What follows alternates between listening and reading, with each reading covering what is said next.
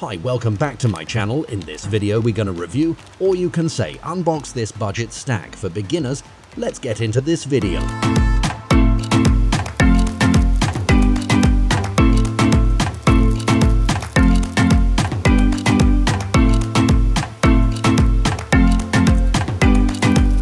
This is 14 AWG wire suit for 60 amps of current, and for this ESC, it's perfect wire. In packaging, we also get this capacitor rated as 560 UF with 35 volts, also XT60 connect and also FC to AESC connector wire.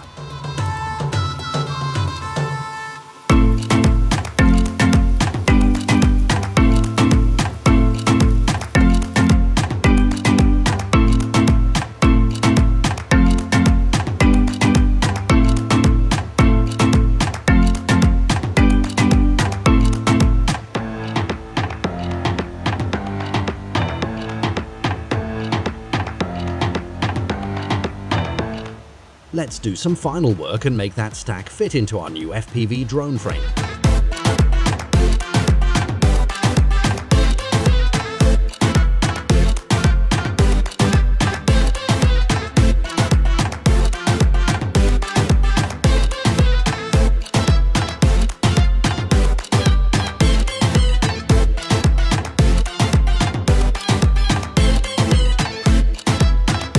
That's it for this video.